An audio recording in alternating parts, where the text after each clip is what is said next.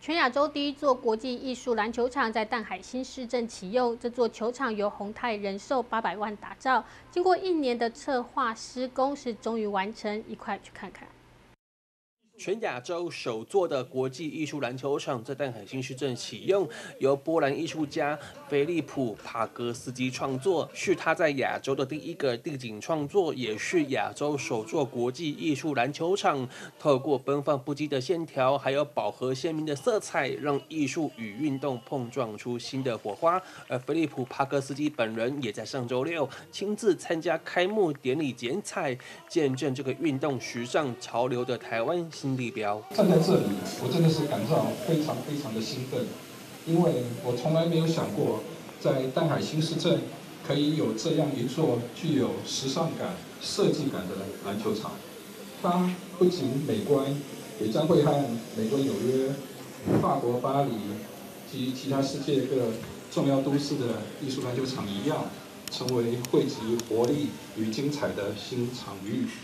这一座由宏泰人寿以造价八百万元台币打造，经过一年的策划设计施工，董事长表示，在淡海新市镇有了这一座具有时尚感的艺术篮球场，将与美国纽约、法国巴黎有同样的国际场域，并且与新市镇的吉米一起呼应，让这一座城市有更多的艺术气息。对此，附近居民看到有这么好的场地，都等不及要来试试身手。嗯，哦，那因为我也是在搬刚搬来淡水新市镇。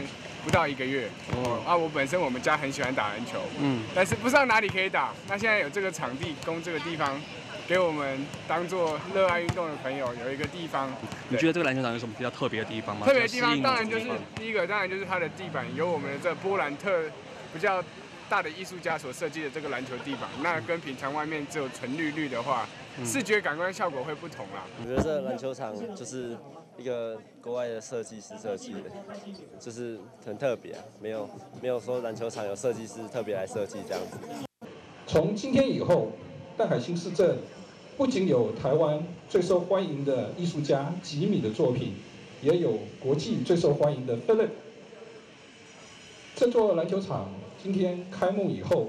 将会以免费的开放使用。设计师帕克斯基为了保留纯粹的创作习惯，选择以篮球规则和爆发力融合的本质作为创作的主轴，直觉选择配色，利用手绘让篮球场保留本身该有的基本线条，也让绘画与球场有所连结。而宏泰人寿表示，有国际艺术家愿意在台湾创作，他也乐于合作。